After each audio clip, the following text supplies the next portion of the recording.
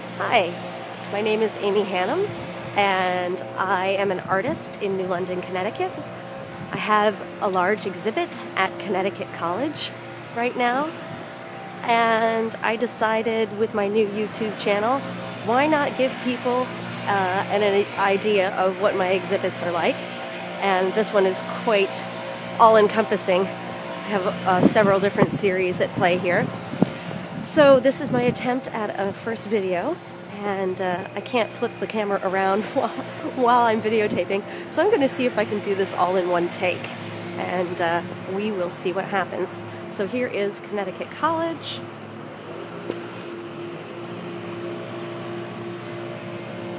The Charles E. Shain Library. And here is the poster for my show. Otherly Lingual is a study in nonverbal communication. It's experienced through the visual arts. And uh, I will talk about the different series at play in this exhibit um, as we take a look at them. So here we go. Might be a little quieter here because it is the day before Thanksgiving. So hopefully that will help us out. So when you first enter the library, you have a large case here with the work called Dark Matter. And this is an installation that is descriptive of the feelings that I get when I practice Reiki. Uh, a little bit hard to see with all the light bouncing off of it but you essentially have a star field between two hands.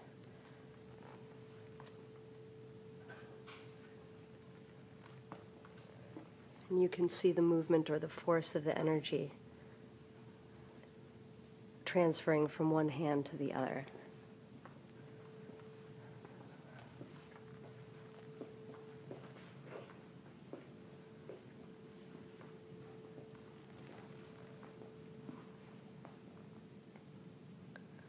Case is about 12 feet long by 8 feet high.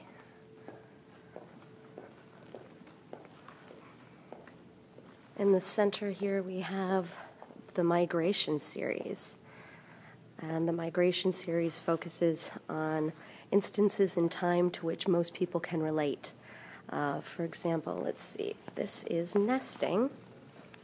I should have brought something to block all these lights with. Um, somebody said a big piece of cardboard is helpful. So, nesting, oh, here we go.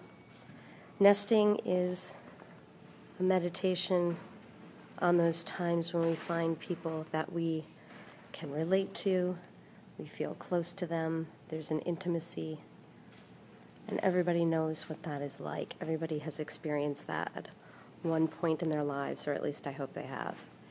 So the migration series captures these emotional moments that tie us to other human beings through emotional states. This is nesting. This is chess, the idea that life is a game.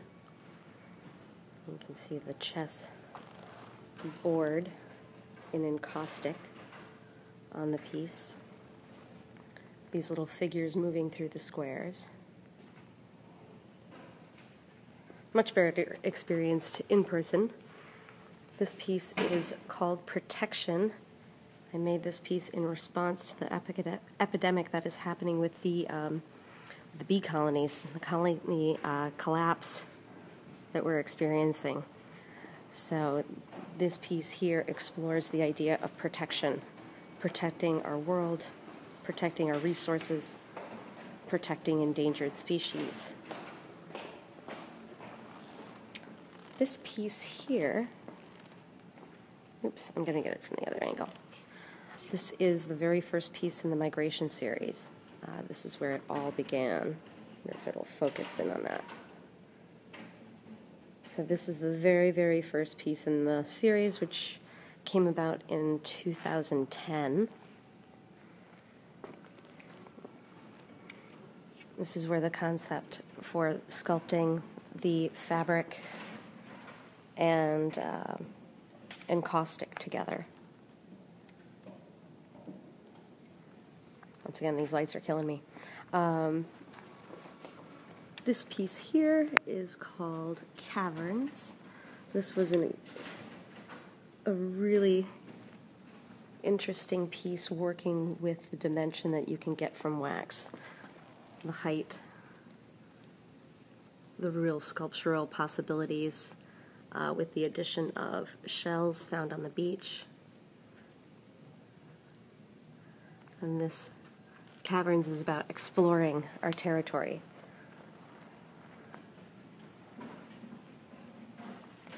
This piece is age old. Uh, this piece is a meditation on our very beginnings. Uh, thinking about Fibonacci cycle, thinking about fractalization, thinking about evolution, early forms. And you can see the pieces actually moving right off the canvas.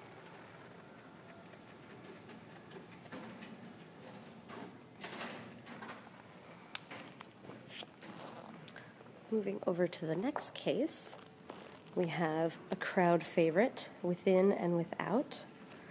Um, these pieces have won a couple different awards, um, local awards. Uh, the Connecticut Academy of Fine Arts um, really like this piece.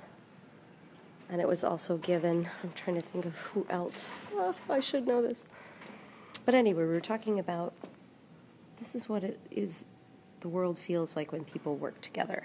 There's a cohesiveness, there's a pattern, there's a comfort. And then we have what things look like when we are not working together. It's a little chaotic, a little bit like rats abandoning a sinking ship. once again, you can see the texture of these pieces. They can be wall mounted or they can be displayed on a pedestal or in a vitrine like this. Now we are on to fences. Here we have our character, this little figure, seemingly trapped, yet free to escape at any moment, yet feeling completely enclosed and trapped in its environment.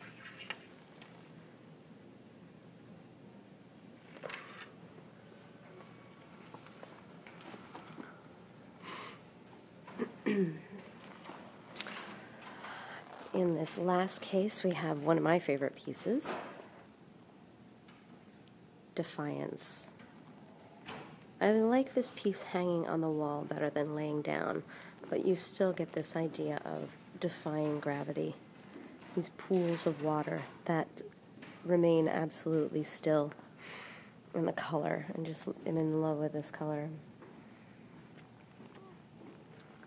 So behind the thoughts behind this piece is that all those times when people told you you couldn't do something but you knew that you could and going ahead and doing it anyway and ignoring all the people who tell you you can't do something.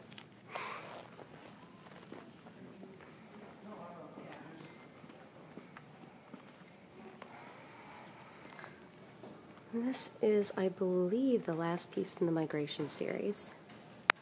And this is called Alpha. And Alpha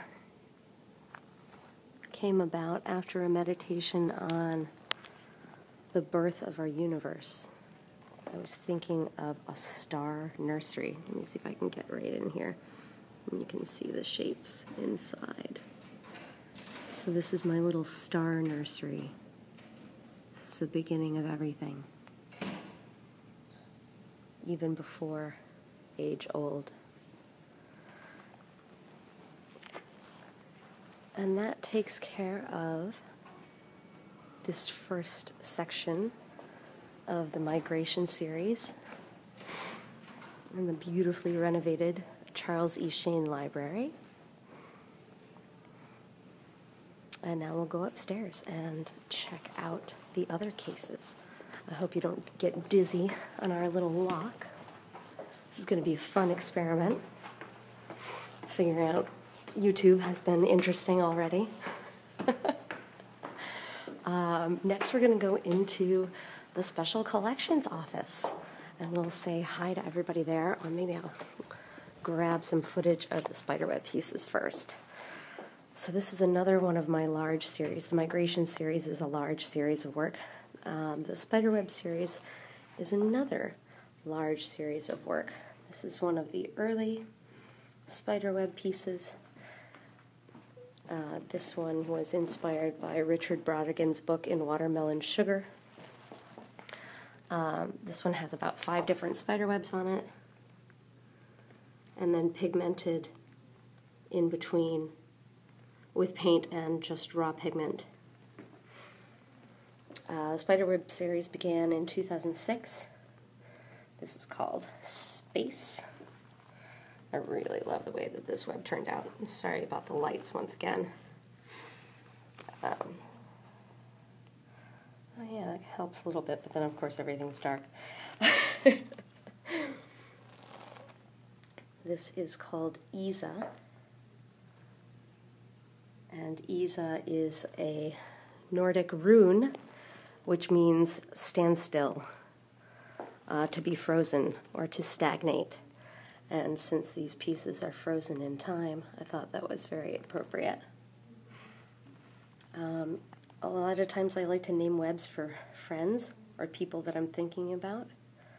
Uh, it's hard to see the web in this one, but this is called Jason's web because these are Jason's favorite colors and I was just, this is a more masculine web than, than some of the others.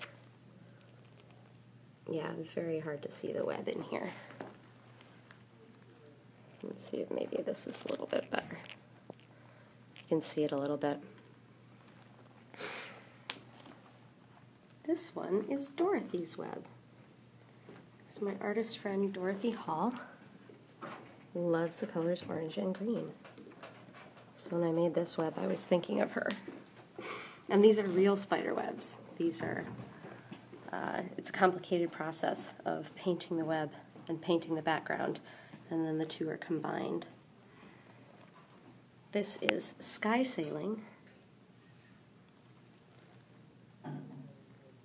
which is encaustic and a spider web. That's another favorite. A poet wrote wrote a poem about it called Isadora's in the Pink, and it was about an acrobat in a circus um, who was very spider-like, and I, that was that was wonderful. So that was read in a gallery where this was showing, um, and written for this piece. This is the joyful shout, and uh, that was inspired by a book on uh, Chinese astrology that I was reading that talks about the body and how the body uh, regenerates in the spring and how certain foods are good to eat in the spring and kind of what is going on with the body according to Chinese medicine in the springtime. And it was a lot about eating, and so you can see this little brown spot down there that is a little meal for the spider. And so this reminded me very much of that book that I had read A couple different spiderweb pieces inspired by books. This one, hopefully you can see this, this is graphite web. So these webs were made by, oh, here we go. Yeah, I can focus. Awesome. Um, this is five different spider webs that I simply sanded uh, charcoal onto. And uh, I guess it's charcoal web, not graphite web. I may have said graphite. Um, but this is a very elegant piece, letting the beauty of the grain of the wood show through with the uh, natural vine charcoal coating the web. And turned out really nicely. And here's another favorite, kind of reminds me of Superman. Um, this is Anywhere and Everywhere. Um, I very, very quickly had to paint this background, and I was just thinking about the interconnection interconnectedness of the world. Um, this piece came out really well, considering how quickly I had to paint the background. It was all finger painted in pigment and then sealed in acrylic spray. And then nice red web right on top. And by the way, where the center of the web is, that is completely unplanned. It's however the web lands on the panel or the canvas. So that was not planned, although this area might be a little bit of a hot spot. All right, so let's go into the Linda Lear Center for Special Collections and see Ben Panciera, who put this exhibit together for me. Hi there, how are you? I'm going to be doing a little video if nobody minds. okay. So this is a larger spiderweb work. This is about two feet by two feet, um, using very large spider webs. I was lucky enough to find a friend who had really large spider webs on their porch and captured um, this, you know, really, really good size. It's uh, wood spiders that make these nice big webs. This is a, this was a different spider, but these larger webs were made by wood spiders, and they're really fun creatures to work with. Um, they don't always like to leave their webs, so then I can't get them. uh, this piece here is called Reconciliation. I was inspired by the work of Martin Kline that I saw at the New Britain Museum or the uh, New Britain Museum of Art. And uh, he uses this technique called accretion, which is the layering of wax in, in a semi cool state so that it builds up um, like a stalagmite. And try and see if you can see that texture there. Um, and this was a really nice big orb uh, wood spider as well. I only collect the orb weaver webs. Uh, I do not go after cobwebs, which when I'm looking for spider webs, a lot of people say, "Oh, I've got a ton in my basement." Well, those are cobwebs, and maybe I'll start working with them, but they're not as interesting to me as the uh, the orb weaver webs, which have such a great pattern. Um, this is one of my first spiderweb pieces. So this piece is from 2006. Some people just like the plaster. This is tinted plaster. That's the background. Um, I love flying and just the, the view of the sky at sunrise or sunset from a plane is something that is incredibly beautiful to me, uh, very inspirational and moving. And so I captured that and then put a silver spiderweb on top of it like a silver lining in a cloud. See if we can get a nice close up of that. And the spiders that make the webs, you can tell how big a spider is because the size of the spider directly relates to the spacing in between the webs. Uh, so the size of their legs and the size of their body will dictate the spacing between the lines in the web which I always think is really fascinating. Um, move over to another one of my favorite pieces. This is Memory Container, or sometimes just called Memory. It is a large, about 36 inches in diameter, maple stump that was given to me by my friends. It came from Westerly, Rhode Island. I brought it into the studio stripped all the bark off of it. It's incredibly, incredibly smooth. It has a great, great texture. I encourage people to touch it. Please touch gently. Um, people really do enjoy the texture of this piece. And then on top, I've imprinted it with the story of my life. Let's see if we can get these words to show up a little bit better. Yeah, there you go. So what I have done with this piece, I've worked around this lovely hen of the woods fungus that has grown on top of it. Let's focus again. Uh, so the very first ring in the tree, let me see if I can find this, is in here. Oh, there it is. If you can see that, you can see the H and the U house. Uh, when I was about six months old, my parents moved to a new house, but I have memories of our old house, which means that my first memory was somewhere between zero and six months old. I would describe my parents' first house to them, and they said, You know, how do you know that? Because no pictures existed. But yet I would describe in detail how the house was set up and where my crib was. I was in the living room, and they're like, You're making this up. How do you know this? And I'm just telling them that this is my earliest memory. So what I did was I wrote down my earliest memory and put it in the first ring of the tree, and then moving out through all of the rings in the tree are my other memories throughout the years of my life up until I think 34. I think there's 34 rings in the tree. Having my own space. Very important. So you can come in and you can read the story of my life. Uh, the, the, the darker inked memories are the ones that stood out more, and then there are there are stamped in letters that I have not inked that are the more faded memories. And some memories wouldn't fit within the lines at all. So it really was an exercise in memory and also how the brain works, how we forget things, how we remember things differently. Uh, very powerful piece. I encourage you to come and touch it sometime. Um, this was a very fun piece. This is my reaction to the age old question what is art? Um, and one of the artists that I look up to very much is David Lynch, um, not only for his filmmaking, but only also for uh, his furniture making and uh, his set design and set production. Um, he takes a very Bauhausian approach to his films and gets involved in every aspect. Uh, you know, filming in his own houses, making his own furniture, and that's an aspect that I really admire as an artist is taking every part of the project in yourself and, and really having hand in the work. Um, this piece is called Dive Deep because David Lynch and I are both heavy meditators. Um, there was a great article in the New York Times Style magazine written about him by Holly Brubach called A Moving Canvas.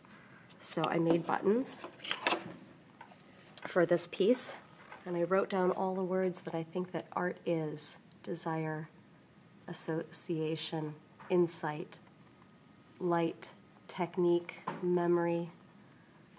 So this is full of all of the words that I think art is and includes a little quote from Holly Brubach's article. And of course, gives her credit. Holly Brubach. Um, so this is a, a, an interactive piece. You can come and you can move the, the different pins around. Um, if you set it up correctly like a puzzle, you get David Lynch's face, and you get a couple excerpts from the article. Uh, and uh, thank God, not too many people have seen Blue Velvet, and nobody has stolen his ear yet. So, still got the ear. Yay. Um, Above that is a piece that's going to be kind of hard to see.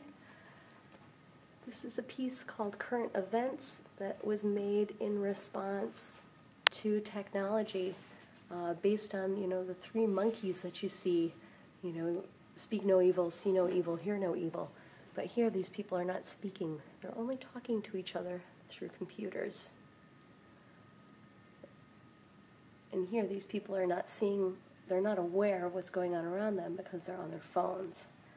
Uh, so they're blocking out all the activity around them and focusing on the phone, much like these people with their iPods are not hearing what's around them. They are isolating themselves through sound and earphones.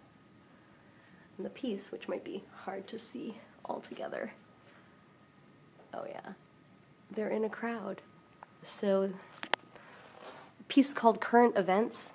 It's also called Global Isol- Isolation because even as we're reaching out globally to each other, we tend to ignore what is right around us, ignoring the crowd, ignoring the possible interactivity we could have with people right near us, and instead uh, choosing people who are potentially far away, um, which is an interesting, very interesting development in social interaction.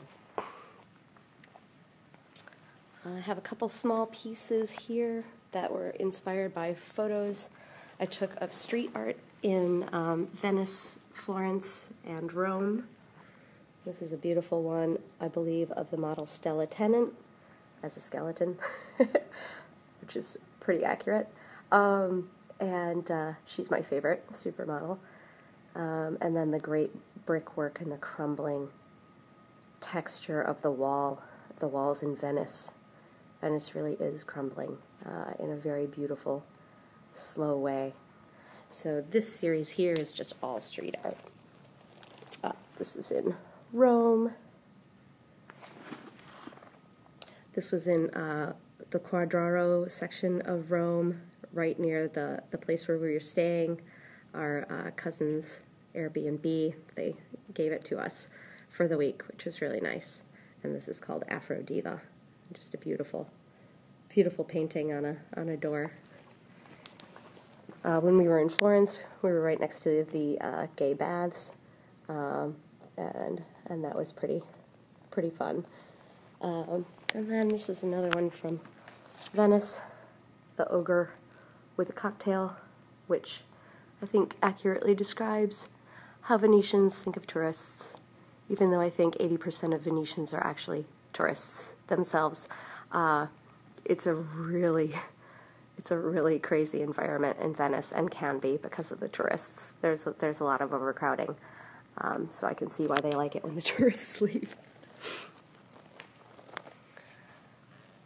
This piece here is called Demon Family Tree. Um, through research, I discovered that in the mid to late 18th century, they, I'm sorry, 17th century, um, someone paired demons with their vice. So I can't get close enough. Um, Leviathan.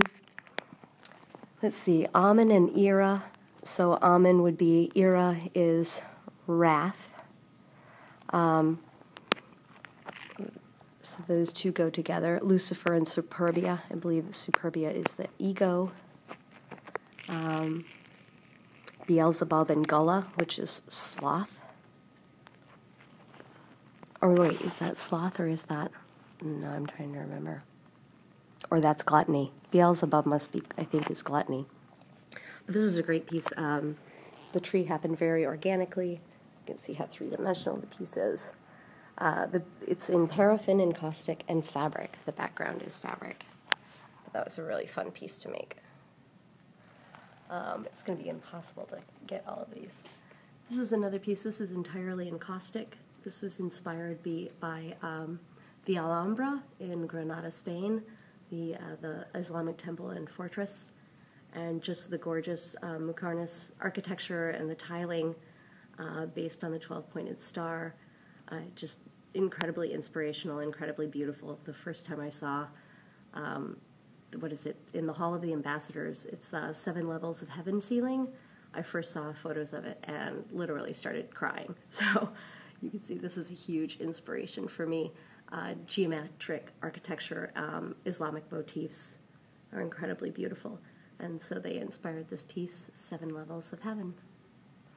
There's another, the final migration piece, which is up top, but I don't think we're really going to be able to see that. It's called Arches. And it's a three dimensional environment, once again, using the tiny little figures of overlapping fabric, only this time I used uh, old leather gloves and cut them apart, put them back together. Um, maybe we can get another view of it from here, but it's going to be really hard. Okay. Um, oh, okay. Going back over here to another plaster painting. Um, much like current events, and the uh, Dive Deep, the David Lynch piece. These are handmade stencils, uh, drawings that I made that I turned into stencils and then used to layer the plaster. Uh, it gives an incredibly smooth texture.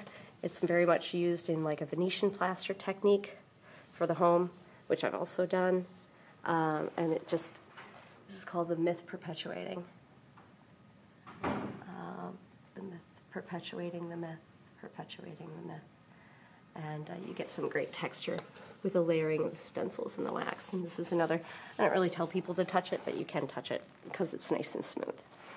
Um, and this piece is, goes into the incredibly deep relationship that we have with ourselves, um, how we see ourselves, how we would like to see ourselves, how we think other people see us, and basically dealing with our reflection, uh, both physically and psychologically. And uh, the different relationships that we have with ourself and how that affects our relationships with others. And this is this is an older piece. This is a more recent piece. This is called Exotic Birds of Prey 96 hour flight because it took me 96 hours to complete it. Um, and I completed it over, I think, about five days. So I was not sleeping very much. Um, incredibly detailed piece, if I can get in here. Each of these um, each of these tags is fabric saturated in encaustic in different colors. Uh, the encaustic is different colors, the fabric is all white. And then each of these pieces is individually fused onto the panel with heat. Um, this is another tactile piece that's fun to pet. Um, this was a very freeform piece. I really, uh, the only rules that I had were I set myself a color palette and a goal to work within the natural grain of the wood. So the shapes that you see here are actually uh, coloring inside the line, coloring inside the lines of the grain of the wood on the panel. Um, you can still see the wood edge here. But uh, this was, yeah, this is an incredibly intense piece to make. Um, I had to finish it in time for my show at the Lyman Allyn Art Museum, and I'm really happy with the way it came out. And it was nice to have the rules, the guidelines to follow. It became very meditative, just attaching the pieces.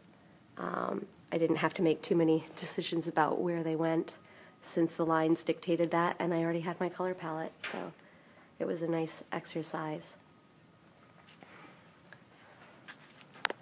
Hi, Rose. Hey.